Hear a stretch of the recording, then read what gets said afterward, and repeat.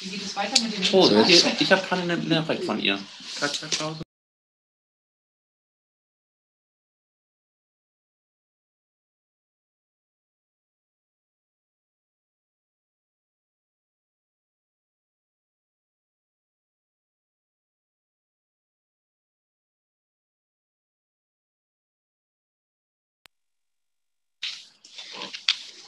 Ja, liebe Damen und Herren der Ratsversammlung, liebe Kolleginnen und Kollegen, liebe Frau Oberbürgermeisterin, liebe Simone Lange, sehr geehrte Mitarbeiterinnen und Mitarbeiter der Verwaltung, sehr geehrte Flensburgerinnen und Flensburger im Livestream und im offenen Kanal zu Hause im Empfang, liebe Gäste, liebe Vertreter der Presse und auch liebes Team vom offenen Kanal und von Notz Digital.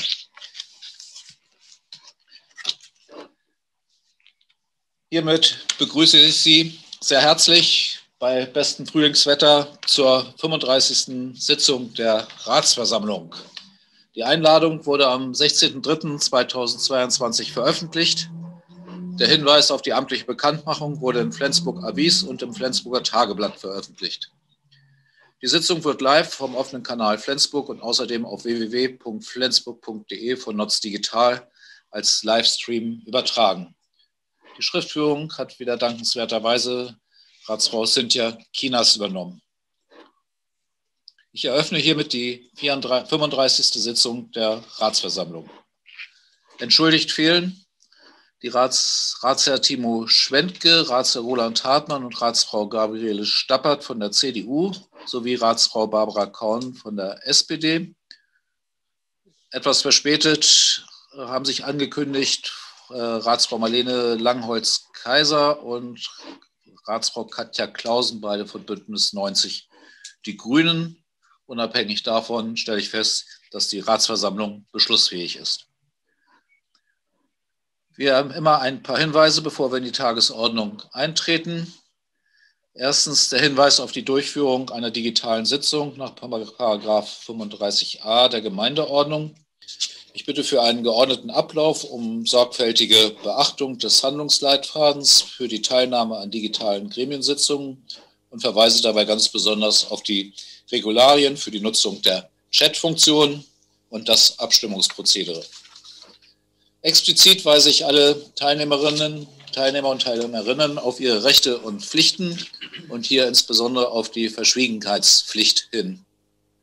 So haben Sie bitte sicherzustellen, dass während der nicht öffentlichen Sitzung keine weiteren Personen in ihrem Umfeld die digitale Sitzung optisch und akustisch mitverfolgen können. Ja, und auch heute haben wir eine Neuverpflichtung. Wir verpflichten Herrn Gerd Bormann-Erichsen für die Fraktion Bündnis 90 Die Grünen. Leider wieder mal nicht in Präsenz möglich. Er war eben schon bei mir. Den Schlips habe ich ihm schon übergeben können. Wir haben auch schon ein paar nette Worte gewechselt, aber die Verpflichtung steht noch aus. Die geht nur in diesem Rahmen, im Rahmen der Ratsversammlung. Und ich spreche jetzt folgenden Text, Herr Bormann-Erichsen. Ich verpflichte Sie nach 33 Absatz 5 der Gemeindeordnung auf die gewissenhafte Erfüllung Ihrer Obliegenheiten und führe Sie in Ihre Tätigkeiten ein. Gleichzeitig begrüße ich Sie herzlich als neues Mitglied der Ratsversammlung und hoffe, dass wir uns dann demnächst in diesem Format auch in Präsenz treffen werden. Ich wünsche Ihnen einen guten Start, viel Erfolg und alles Gute bei uns. Dankeschön. Herzlich willkommen. Sie sehen viel Applaus. Dann kommen wir zur Änderung der Tagesordnung. Ähm, zum Thema Umbesetzung unter Top 8 wird, Top 8 wird um eine Besetzungsvorlage ergänzt, die RV 36 2022. Hier geht es um eine Besetzung des Schulleiterwahlausschusses, die Friedhold, Friedhold-Schule betreffend. Und der Bericht zur Lage der dänischen Minderheit, die Vorlage RV 31 2022, unter Top 10 wird erst in der kommenden Sitzung der Ratsversammlung beraten und daher von der Tagesordnung genommen. Die nachfolgenden Tagesordnungspunkte verschieben sich entsprechend und das Gleiche gilt für den Tagesordnungspunkt 14 alt. Da handelt es sich um die Vorlage RV 24 2022, Änderung der Fernwärmesatzung. Auch dieses heute von der Tagesordnung genommen worden und verschoben worden. Wie gesagt, die nachfolgenden Tagesordnungspunkte verschieben sich dann entsprechend. Mit diesen kleinen Änderungen frage ich, ob es Einwände gegen die Tagesordnung wie eben dargestellt gibt. Wenn ja, dann bitte ich um Anzeichen oder Wortmeldung. Das ist nicht der Fall. Dann ist die Tagesordnung so wie vorgetragen und vorgelegt angenommen. Vielen Dank dafür. Tagesordnungspunkt 2, Bekanntgabe der nicht öffentlich gefassten Beschlüsse der letzten Sitzung. Hier kann ich nur feststellen, dass im nicht öffentlichen Teil der letzten, letzten Sitzung keine Beschlüsse gefasst wurden. Tagesordnungspunkt 3, Einwohnerfragestunde. Dort liegen diesmal keine Anträge vor. Das gleiche gilt für Tagesordnungspunkt 4, die Aktuelle Stunde. Auch hier liegen keine, sind keine Themen angemeldet. Tagesordnungspunkt 5, Einwendungen gegen die Niederschrift über den öffentlichen Teil der 34. Sitzung vom 24.02.2022. Liegen mir bisher nicht vor. Ich frage, ob es an dieser Stelle noch Einwände gegen die Niederschrift in der vorliegenden Fassung gibt.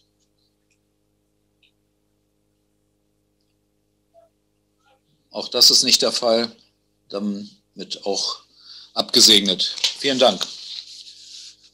Damit kommen wir schon zu Tagesordnungspunkt 6, Mitteilung des Stadtpräsidenten. Ja, ich möchte gerne nochmal auf den, gerne nicht, aber an dieser Stelle ist nochmal, denke ich, angebracht und angemessen, nochmal auf den Ukraine-Konflikt, Krieg einzugehen. Meine sehr geehrten Damen und Herren, Unsere letzte Ratsversammlung ist genau vier Wochen her. Sie fand in diesem Format am 24.02.2022 statt. Das war der Tag, an dem Putin mit seinem breit angelegten, völkerrechtswidrigen Angriffskrieg gegen die Ukraine begonnen hatte. Das war der Tag, an dem wir alle fassungslos, entsetzt und schockiert zur Kenntnis nehmen mussten, dass fast 77 Jahre nach dem Ende des Zweiten Weltkrieges ein einzelner Aggressor mitten in Europa einen nicht mehr vorstellbaren Krieg entfachen und damit die geopolitische Struktur Europas ins Wangen bringen konnte. Und das war der Tag, an dem wir in der Ratsversammlung dem tapferen ukrainischen Volk gedacht und ihm unsere uneingeschränkte Solidarität bekundet haben. Heute, Vier Wochen später herrscht immer noch Krieg in der Ukraine und ein Ende ist nicht abzusehen. Im Gegenteil, der unerbittliche Krieg wird immer brutaler und fordert Tausende Tote und Verletzte. Er trennt und zerreißt viele Familien. Putin macht auch vor der Zivilbevölkerung nicht Halt. Sogar Gesundheitseinrichtungen werden bombardiert. Ganze Städte sind zerstört, Vielerorts gibt es keine Heizung, kein Strom und kein Wasser mehr und Nahrungs- und im weitesten Sinne Lebensmittel werden knapp. Die Not und das Leid der ukrainischen Bevölkerung sind trotz aller bestürzender Bilder und ergreifender Berichte für uns einfach unvorstellbar. Millionen Menschen, vorrangig Frauen und Kinder, suchen ihr Heil in der Flucht. Täglich kommen mehr als 10.000 in Deutschland an. Auch in Flensburg sind bereits fast 500 Flüchtlinge registriert. Und das wird voraussichtlich nur der Anfang sein. Das stellt uns vor erhebliche Aus Herausforderungen in vielerlei Hinsicht. Dazu wird zugleich unsere Oberbürgermeisterin Simone Lange näher ausführen. Meine Damen und Herren, mitten in Europa kämpft ein freies Land tapfer nicht nur für sein Recht auf Selbstbestimmung und seinen Frieden, sondern damit auch für den Frieden in Europa. Ich zitiere aus und folge gerne dem im gestrigen Flensburger Tageblatt publizierten Aufruf des Konsularkorps Schleswig-Holstein an den russischen Generalkonsul in Hamburg. Alle Menschen haben ein Recht auf Frieden, freie Meinungsäußerung und Versammlungsfreiheit. Putins Krieg ist ein Angriff auf Demokratie und Freiheit, nicht nur in der Ukraine, sondern in der ganzen Welt. Es kann kein freies und sicheres Europa ohne eine freie und unabhängige Ukraine geben. In diesem Sinne lassen Sie uns weiterhin solidarisch an der Seite der Ukraine stehen und unsere Aufnahme, Hilfs- und Integrationsbereitschaft sowie unser Mitgefühl mit der ukrainischen Bevölkerung mit einem kurzen Gedenken bekunden.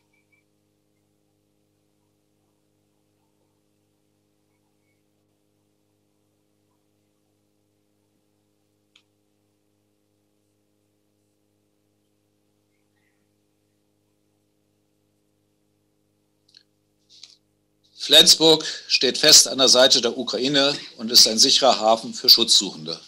Vielen Dank.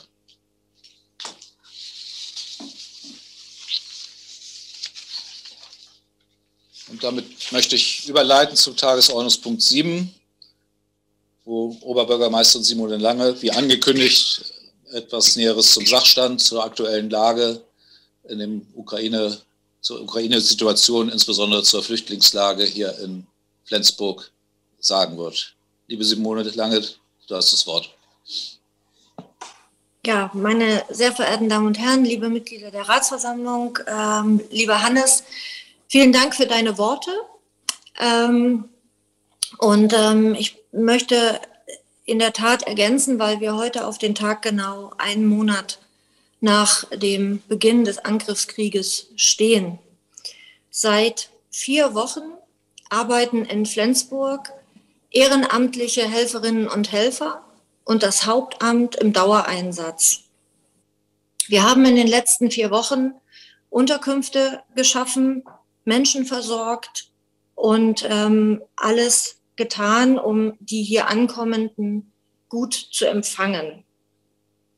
Die Massenzustromrichtlinie ein schwieriges Wort, aber mit einem guten Inhalt, gewährleistet es den Menschen, die vor Krieg fliehen, erstmal auf doch relativ einfachem Wege zu uns zu kommen. Wir haben sie in den letzten Wochen alle miteinander, ob sie alleine individuell zu uns gekommen sind oder in Gruppen, ob sie uns zugewiesen worden sind, ähm, wie auch immer, herzlich willkommen geheißen. Ich möchte deshalb stellvertretend an dieser Stelle vor allem dem Ehrenamt danken und stellvertretend einmal anführen, dass ich allen, die vom THW oder dem DAK, dem Stadtfeuerwehrverband, der Flüchtlingshilfe, Win Weiche, den ehrenamtlichen Dolmetscherinnen und Dolmetschern und allen Helferinnen und Helfern, die seit vier Wochen in Flensburg oder außerhalb von Flensburg für die Menschen, die dem Krieg flüchten, da sind, ganz, ganz recht herzlich danken.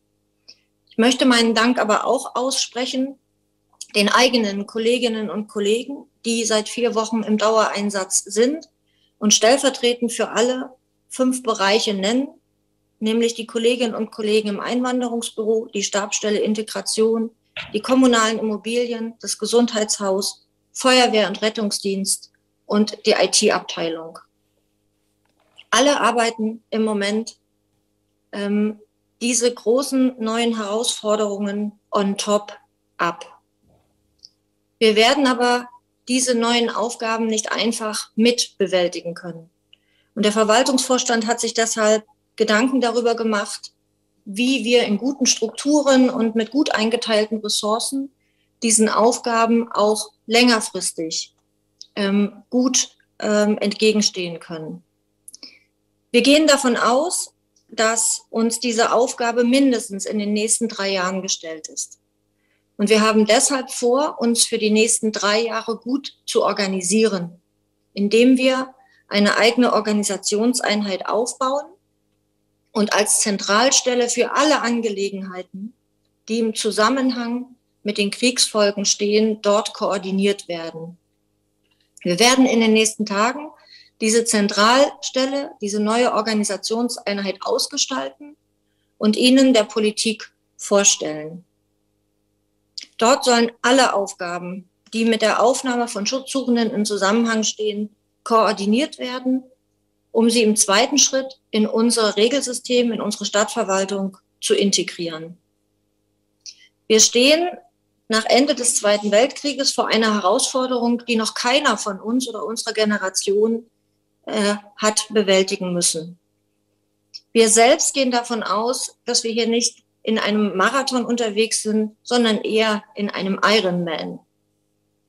Ich kann Ihnen aber versichern, dass wir, das große Team der Stadtverwaltung, ähm, sehr bereit sind, diesen Ironman aufzunehmen. Wir begreifen uns hier tatsächlich als großes Team. Wir haben heute in einer fast zweistündigen Sitzung mit dem Personalrat auch in dieser Weise uns ausgetauscht, weil wir uns einig darüber sind, dass wir eins immer beachten müssen.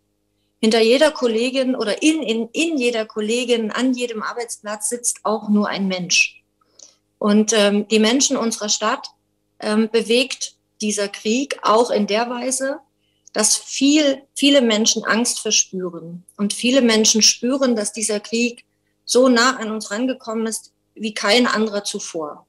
Es geht also mehr als nur um die Aufnahme von Geflüchteten. Es geht darum, die gesamte Stadtbevölkerung und auch uns alle gut im Blick zu behalten.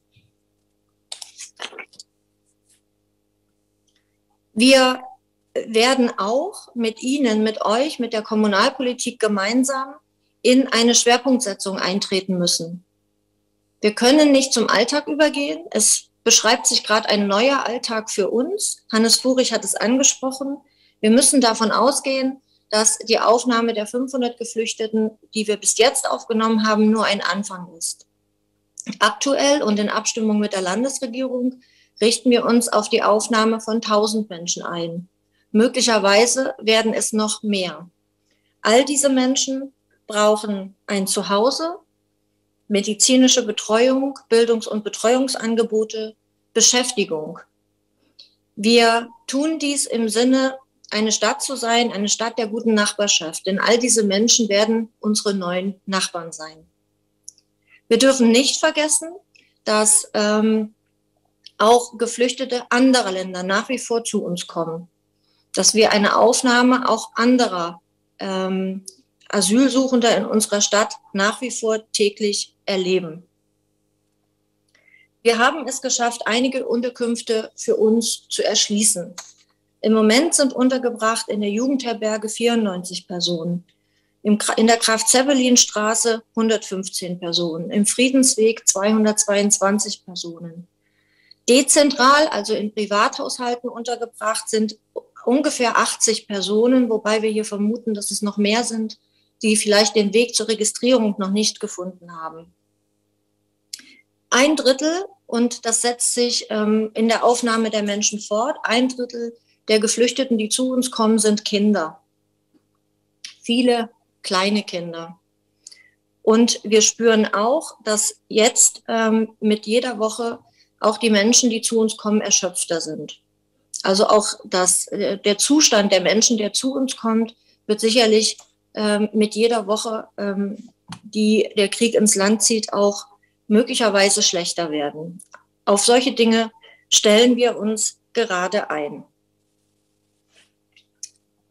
Wir haben ähm, durch diese vielen neuen Aufgaben einen unglaublichen Personalbedarf. Im Ehrenamt, aber auch im Hauptamt. Ich möchte beispielhaft benennen, dass wir schon jetzt durch die aktuelle Situation im Bereich Ordnungsverwaltung und Einwanderungsbüro den Bedarf von acht zusätzlichen Personalstellen haben. Wir haben uns deshalb entschieden, Ihnen in der Mai-Sitzung einen Nachtragshaushalt vorzulegen, den wir bis dorthin vorbereiten und ausgestalten werden. Wir werden mit Ihnen, mit der Politik darüber diskutieren müssen, wie wir unsere Ressourcen aufteilen, welche Ressourcen wir gewinnen müssen, um dieser Situation auch entsprechend gut und fair zu begegnen. Wir haben dabei beides im Blick, das Hauptamt und das Ehrenamt. Das ist mir nochmal ganz, ganz wichtig zu sagen. Wir arbeiten ähm, in unserer Stadt äh, partnerschaftlich zusammen. Alles geht Hand in Hand. Vieles ist im Moment unter dem Stichwort 24-7 äh, zu betrachten. Jeder ist jederzeit erreichbar. Und ähm, hier gemeinsam auch einen Blick auf die Menschen zu haben, die das tun, ist, glaube ich, ganz besonders wichtig, ähm, weil auch hier wir eine Fürsorgepflicht gegenüber allen haben. Henning Brückemann ähm, möchte noch zwei, drei Worte zur Haushaltssituation sagen, ähm, sodass ich ähm, die Mitteilung der Oberbürgermeisterin einmal heute gesplittet habe und Henning noch eben das Wort übergeben möchte. Ja, vielen Dank erstmal, Simone. Ich würde noch mal kurz eingehen. Ich möchte sehr danken, dass du die äh, den aktuellen Sachstand quasi im Gesamtkontext eingeordnet hast und äh, wichtige Einzelaspekte und Aufgaben angesprochen hast. Ich denke, dass sehr wichtig ist, dass, und das wird uns auch gelingen, dass wir einen engen Schulterschluss sowohl zwischen Verwaltung und Politik als auch zwischen Haupt- und Nebenamt hinkriegen.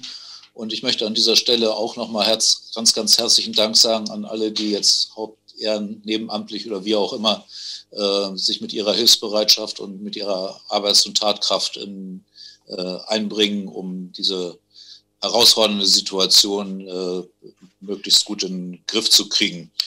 Ähm, wir haben ja hier mit einem Tagesordnungspunkt, der normalerweise auch nicht groß für Aussprache und Diskussion vorgesehen ist, aber ich denke angesichts der ansonsten nicht allzu anspruchsvollen Tagesordnung und dass wir da auch ein bisschen Zeit haben, dass wir durchaus, äh, wenn anschließend noch Fragen oder Diskussions- oder Aussprachebedarf ist, äh, dem dann auch gerne erstmal stattgeben. Bevor wir das aber tun, übergebe ich dann erstmal das Wort an Henning, Bürgermeister Henning Brüggemann für die finanzielle Seite, für die Finanzseite. Ja, vielen Dank, Herr Stadtpräsident, meine sehr geehrten äh, Damen und Herren. Und natürlich machen wir uns auch Gedanken, was heißt das denn fiskalpolitisch, finanzpolitisch für uns? auch für die Zukunft äh, der Selbstverwaltung, weil wir sind ja jetzt auch mit einer Situation konfrontiert. Ja, es ist wieder eine Krisensituation, ist uns nicht neu. Wir hatten äh, die Wirtschafts- und Finanzkrise 2007, 2008, die Migrationsbewegungen 15, 16, Thema Corona. Die Krisen sind teilweise auch verbunden mit einer persönlichen Betroffenheit, gerade auch ähm, bei ähm, Corona. Über dem schwebt irgendwie dann noch das Thema Klimakrise, nicht ganz so äh, äh, konkret. Äh, aber all diese, diese äh, Krisen, diese Szenarien haben unserer alltäglichen Normalität keinen großen ähm, Abbruch getan. Wir haben irgendwie es schon auch geschafft, so weiterzuarbeiten, wie wir es gewohnt haben. Äh, wir haben in dem Zusammenhang auch noch andere Aspekte mit weggeatmet. Das Thema Zensus war dann irgendwie kein Problem. Wir haben Qualitätsoffensive im Kita-Bereich hinbekommen. Wir haben das Thema Liegenschaften mit einem anderen Schwerpunkt versehen. Äh, mit der Folge, dass wir zwar in unserem Haushalt Defizite haben, ja, äh, zumindest aufgelaufene altfähige Beträge in den letzten 15 Jahren, äh, hat sich aber diese Haushaltslage letztendlich nicht richtig äh, verschlimmert. Wir haben unsere Defizite, äh, ja, aber äh, eine Verschlechterung gegenüber 2007, 2008 hat insgesamt nicht so äh, stattgefunden, was auch zeigt, dass wir es hier auch mit einer sehr leistungsfähigen äh, Verwaltung zu tun haben. Die Selbstverwaltung funktioniert. Wir haben unsere Hausaufgaben gemacht, wir hatten Konsolidierungsrunden, wir haben eine massive Unterstützung vom Land bekommen. Äh, ich denke da an die Konsolidierungshilfe, aber auch die Unterstützung von Bund und Land im Zusammenhang mit äh, Corona.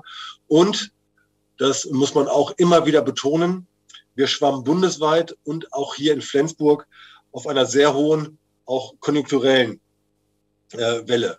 Manche Themen waren mühselig, manche Themen kontrovers, manche nicht zur Befriedigung aller gelöst, aber irgendwie ähm, gehörte das alles zu unserer Normalität. Es ging irgendwie weiter. Wir sind in unseren Routinen, in unseren Selbstverständnissen drinne, wo wir sagen, ja, immer mehr Aufgaben, es muss immer mehr Themen geben, die wollen wir bespielen. Die Bedarfe sind auch unerschöpflich. Und damit bin ich so ein bisschen bei, bei so einem Gefühl, was ich habe, vielleicht sind wir mit dem Krieg in der Ukraine äh, angekommen bei einer Zäsur das erstmal so ein bisschen als These in den virtuellen Raum reingeworfen. Ob es denn wirklich eine Zäsur ist, das werden erst die nachfolgenden ähm, äh, Generationen bewerten können. Ähm, aber äh, Zäsur, ja, was nehme ich wahr? Ich nehme wahr einen Haushalt, der auch in den nächsten Jahren defizitär ist. Und wenn wir ins Weiter so gehen, äh, ja, werden wir die ausgewiesenen Defizite bei uns im Finanzplanungszeitraum noch übersteigen das ist etwas, ja, was zumindest aus meiner Sicht durchaus bedenklich ist. Was nicht ganz bedenkt, nicht so bedenklich ist, beziehungsweise wo wir stolz drauf sein können, ist, dass wir in den letzten sechs Jahren unser Investitionsvolumen verdreifacht haben. Das ist positiv, weil es zeigt, dass unsere Investitionsprojekte eine Umsetzungsreife haben, die jetzt auf die faktische Umsetzung harren. Parallel dazu und ähm, steigt aber auch die investive Verschuldung an, wo wir unsere Konfliktlagen mit der Rechtsaufsicht haben. Und ich gucke an, wir haben ein Investitionspotenzial, das wir finanziell definieren, was wir aber auch vor dem Hintergrund unserer Personalkapazitäten definieren und was zum jetzigen Stand noch deutlich überbucht ist. Das heißt, das wird eine Aufgabe sein, in den nächsten Monaten das Thema Bedarf und faktische Umsetzungsmöglichkeiten miteinander zu bringen. Wir haben ganz, ganz viele kommunale Themen, die wir alle irgendwo im Hinterkopf haben, die wir befragen, hinterfragen können, was wollen wir davon? Und dann möchte ich an dieser Stelle auch nochmal, weil das ist für mich eigentlich so ein, so ein Aspekt, der mir auch immer deutlicher wird, äh, das Thema Klima, Klimakrise bemühen. Weil wir sind konfrontiert mit der Energiewende, momentan noch gedrückt durch das Klimaschutzgesetz, was uns äh, umzwingt, äh, die Energieerzeugungsanlagen umzubauen. Wir haben das Thema Verkehrswende. Da sind wir bei der Thematik Dekarbonisierung der Mobilität. Da gucken wir auf unsere Töchter, Busflotte und Betriebshof. Aber da haben wir plötzlich auch wieder eine neue Diskussion, die äh, möglicherweise bei uns äh, im Haushalt landet. Wir haben insgesamt das Thema Vorbereitung auf den Klimawandel, wo wir gucken, wie kriegen wir da auch äh, unsere Infrastrukturen so hergerichtet, beispielsweise das Thema Flensburg-Strategie 2013. Äh, wir denken in Richtung nachhaltiges Bauen, in der Quartiersentwicklung. Das sind alles Themen, die momentan noch sehr schleichend in unser Bewusstsein drängen, zumindest was die Konsequenzen betrifft, wenn wir uns dem nicht stellen. Das sieht man beispielsweise an den Wetter- und Umweltphänomenen, gerade auch hier in Deutschland. Und äh, das sieht man auch an einer CO2-Steuer, die wir jetzt haben, die aber ja nur schleichend zu einer Preiserhöhung bei Wärme, Energie und Mobilität, führen würde. Dieses führen würde aber ganz bewusst im Konjunktiv. Denn plötzlich ist es angesprochen worden durch den Stadtpräsidenten, durch die Oberbürgermeisterin, seit vier Wochen sind wir mit einem Schlag in eine andere Normalität reingetreten. Wir sind nicht nur konfrontiert ähm, mit einer humanitären Katastrophe, deren Abfederung eine kommunale Selbstverwaltungsaufgabe der nächsten zwei, drei, vier Jahre sein wird. Wir äh, mit uns oder uns wird mit einem Male auch deutlich, wie abhängig wir alle von den fossilen Energieträgern sind. Die Preissteigerungen, die tun richtig weh, nicht nur in unseren Privatportemonnaies, auch unser städtischer Haushalt ist massiv beansprucht. Äh, und wir sehen mit einem Male, dass äh, unser Wohlstand hier in Deutschland subventioniert ist oder wird durch die fossilen Energiepreise, äh, die nicht äh, nur auf einem äh, Ökodumping, sondern auch auf einem politischen Dumping in Bezug auf die kriegstreibenden Autokratien basieren. Das heißt, wir werden plötzlich konfrontiert mit Preisen, äh, wo wir versuchen, uns davon zu emanzipieren und das geht massiv in die Höhe. Wir sehen auch in einer bundespolitischen Diskussion, wie schwierig es ist, das humanitär Richtige zu tun, wenn dadurch die Belastungen äh, bei uns zunehmen. Äh, wir, das mussten wir eingestehen, sind abhängig, noch abhängig vom Gas, auch hier in Flensburg. Und das wird uns als Stadtgesellschaft deutlich. Wir sehen mit einem Mal aber auch, dass das schnelle Umsteuern in der Energiebeschaffung in Richtung CO2-Neutralität und damit in Richtung wirtschaftliche Unabhängigkeit von despotisch geführten Staaten eine unglaubliche Aufgabe sein wird, die uns überfordern wird, wenn wir bei dem weiter so bleiben, wenn wir in unseren Routinen bleiben. Und das führt mich zu dieser These der Zäsur, weil ich glaube, dass wir unser auf fossilen Energieträgern fußendes Wirtschafts- und Gesellschaftssystem schnellstens und nicht erst schleichend bis 2045 durch äh, ein besseres ablösen müssen. Aus ökologischen Gründen, aus sicherheitspolitischen Gründen und letztlich auch aus humanitären Gründen. Äh, und nun kurz noch zurück zu der, zu, zu der profanen Finanzpolitik. Ähm, wir sehen, dass die Rahmenbedingungen für unsere Aufgabenerledigung in der Selbstverwaltung, die Rahmenbedingungen für den Haushalt nicht so richtig gut sind. Da ist der Ukraine-Krieg, der, wo wir einen wirtschaftlichen Einbruch erwarten. Der Begriff der Stagflation macht die Runde. Wir sehen die steigenden Preise. Wir sehen die Unsicherheiten bei der Zinsentwicklung. Wir sehen aber auch als städtischer Auftraggeber, dass alles teurer wird. Energie, Baupreise, sonstige Beschaffungen. Aber wir haben aber auch die, die ganz akuten Aufgaben, die gerade schon skizziert wurden. Wohnraum, Thema Integration, Bildung, der Katastrophenschutz wird eine zunehmende Bedeutung bekommen. Wir haben aber auch die Verantwortung für die soziale Abfederung dessen, was da auf uns zukommt. Und dann haben wir aber auch die Hemmnisse, die kommen werden. Die Unterbrechung der Lieferketten weltweit.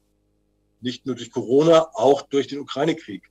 Wir haben das Thema Personal, was uns immer wieder beschäftigt und wo wir sehen, Demografie schlägt durch, wir haben da Probleme. Äh, und äh, das allein kann schon dazu führen, dass wir überfordert werden und wir uns im Klein-Klein unserer alltäglichen Debatten verhaftet sind. Und dann wird plötzlich auch noch das Thema Dekarbonisierung ganz akut. Und das können wir nicht mehr aussitzen. Das Thema wird belastend sein, nicht nur für unseren Haushalt, auch für die Flensburgerinnen und Flensburger. Die Diskussion führen wir bereits. Meine These ist, dass wir diesen Herausforderungen ja nicht gerecht werden, wenn wir weiter in einem Denken verhaftet sind, das alles ermöglichen soll, das keine Priorisierungen vornimmt, das noch mehr Aufgaben definiert, das noch mehr Bedarfe definiert, das definiert, dass es nichts kosten darf und dass alles sofort passieren muss. Und dass diese Probleme dann irgendwie nur abgeladen werden, irgendwo im Finanzausschuss, äh, das greift aus meiner Sicht dann für unser Selbstverständnis dann irgendwie auch zu kurz, weil das führt schleichend zur Ohnmacht, zum Frust. Und ich glaube, wir werden uns an eine Normalität gewöhnen müssen, wo wir unsere Selbstverständnisse im ersten Schritt überfragen, hinterfragen müssen. Wir müssen uns mit einem Umdenken beschäftigen und wir müssen gucken, wie wir dann im zweiten Schritt gemeinsam gestalten können. Und da bin ich durchaus auch beim Haushaltsverfahren, wo wir kurz im letzten Finanzausschuss vorgestellt haben, was wir da denken, im Hinblick auf den Doppelhaushalt 23, 24, wo wir gucken, wo liegen unsere Schwerpunkte, was ist wirklich wichtig für unsere Stadtgesellschaft, welche Ebenen der Daseinsvorsorge sind wirklich existenziell. Und da müssen wir aus meiner Sicht schichten. Das Thema Wohnen bekommt eine Bedeutung, das Thema Gesundheit, Bildung, Sicherheit. Das sind die kommunalen Themenfelder, die einen herausgehobenen Status haben müssen. Wir brauchen dann aber auch den Mut, andere Themen zu benennen, die nicht so wichtig sind. Wir brauchen bewusst den Mut zum Verzicht als eine bewusste Entscheidung. Alles zu wollen, wird zu Ohnmacht führen. Die weiteren Schritte, äh, wir haben es dargestellt im Finanzausschuss, wir werden gucken, dass wir im ähm, Mai, Simone sprach es an, mit einem Nachtragshaushalt, aber auch mit einem Verfahren für den Doppelhaushalt 23, 24 kommen. Und äh, vor dem Hintergrund müssen wir uns konzentrieren und wir versuchen dann auch mit einem Verfahren, Verfahrensschritten, Ihnen dann ähm, auch eine Diskussion, eine äh, Diskussion zu ermöglichen, die dann auch allen gerecht wird. Vielen Dank. Alter. Ja. Gut. Ja, vielen Dank, äh, Bürgermeister Brüggemann. Ich habe es deshalb nicht unterbrochen, weil es schon auch unter anderem dazu gedient hat, äh, Zusammenhänge äh, klarzumachen, einmal innerkommunal, aber auch, äh, ja, das im Grunde alles mit allem zusammenhängt und insofern war das nicht uninteressant, auch wenn es deutlich über das hinausging, was wir hier unter dem äh, Tagesordnungspunkt Mitteilungen eigentlich erwarten und vorsehen. Ähm, ich denke, dass sich damit äh, der Geschäftsordnungsantrag von Herrn Rüstemeyer jetzt auch erledigt hat? Oder Nein, hat er nicht. Hat er nicht? Hat er nicht. Gut, dann hast du das Wort, bitte. Ich beantrage eine Sitzungsunterbrechung für eine Sitzung des Ältestenrats. Gibt es dafür eine Begründung? Ja, die Mitteilung äh, der äh, Verwaltungsspitze gerade eben. Wir müssen darüber sprechen, wie wir in der Ratsversammlung mit diesen Mitteilungen jetzt umgehen. Das würde ich gerne im Kreis des Ältestenrats beraten. Gut, dann, dann werden wir erstmal alle anderen in den Warteraum stellen müssen. Das wird einen Moment dauern. Ähm, Ich unterbreche die Sitzung der Ratsversammlung äh, bis zum Ende der Beratung des Ältestenrates. Wird das nicht mehr abgestimmt? Nee, auf Bitte einer Fraktion. von der Ältestenrat. Also stellt jemand einen Antrag, würde ich sagen, wird dann abgestimmt oder nicht? Danke, Philipp. Gerne. Ich dachte, wir sind in der Demokratie. Ich meine, Ja. ich meine, das reicht äh, auf Bitte des äh, oder auf Antrag eines Mitgliedes des Ältestenrates kann dieser einberufen werden. Und ich würde dem stattgeben wollen. Wir sind jetzt nicht dabei, eine Redeliste zu beenden oder ähm, äh, ähnliche ähm, Vorgänge, die äh, abgestimmt werden müssten.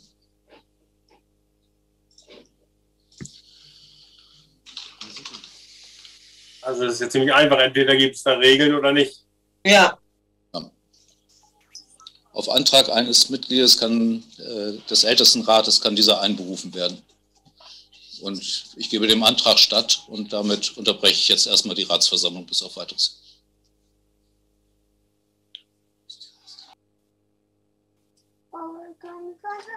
Entschuldigung, Frage zum Verfahren. Wir melden uns alle ab, die nicht zum Ältestenrat gehören, melden uns wieder an und werden reingelassen, wenn er durch ist. Wir stellen alle anderen erstmal kurzfristig in den Warteraum und schalten sie dann wieder zu, wenn die Besprechung des Ältestenrates zu Ende ist. Dann müsste auch die Online-Zuschauerschaft unterbrochen werden, ne? Ja, Wir dran denken. Ja, logischerweise, ja. Danke.